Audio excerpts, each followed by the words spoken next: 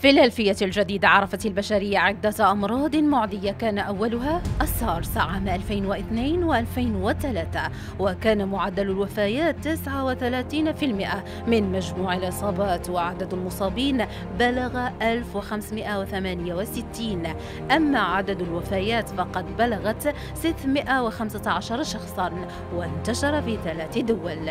إنفلونزا الطيور وكانت عام 2003 بمعدل وفاة 53% من مجموع الإصابات وعدد المصابين بلغ 861 أما عدد الوفيات فقد بلغت 455 وانتشرت في 17 دولة.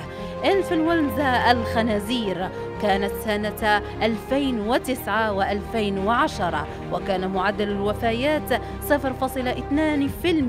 من مجموع الإصابات وعدد الوفيات بلغت 1849 وقد انتشرت في 214 دولة.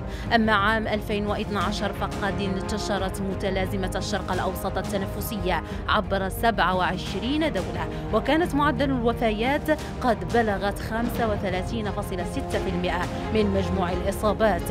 أما عدد المصابين فقد بلغت 2535 إصابة وبلغ عدد الوفيات 921 إنفلونزا الطيور مرة أخرى عام 2013 وعام 2018 وكانت معدل الوفيات قد بلغت 39% من مجموع الإصابات التي بلغت 1568 وبخصوص الوفيات فقد سجلت 615 وفاة وانتشر في ثلاث دول.